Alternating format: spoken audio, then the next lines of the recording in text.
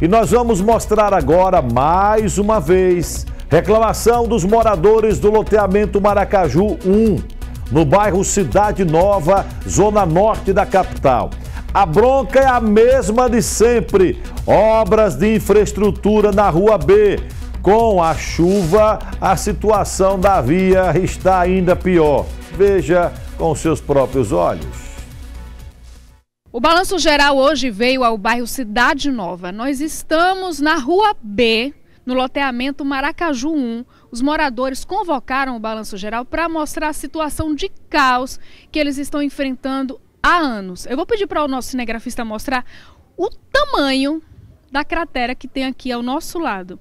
Agora imagina quem mora aqui para chegar e sair de casa. Carro por aqui é muito difícil para passar porque é realmente uma situação complicada, né, seu Elso? E é um sofrimento de anos que vocês enfrentam aqui.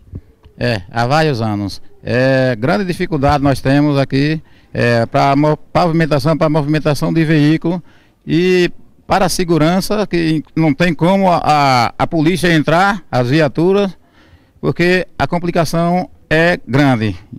O senhor estava me mostrando que o senhor tem aqui uns documentos, né? Que vocês já recorreram ao Ministério Público por mais de uma vez, fizeram abaixo assinado, participaram de audiências públicas e nada, mesmo assim, não foi resolvido? Mesmo assim não foi resolvido. Nós temos aqui o documento em mãos, é, baixo assinado desde 2002 e até agora continua a mesma coisa. Com grande dificuldade, dificuldade que nós passamos aqui na localidade, no Maracaju 1 e também no Maracaju 2, que é o lado oposto. Tá o mesmo sofrimento.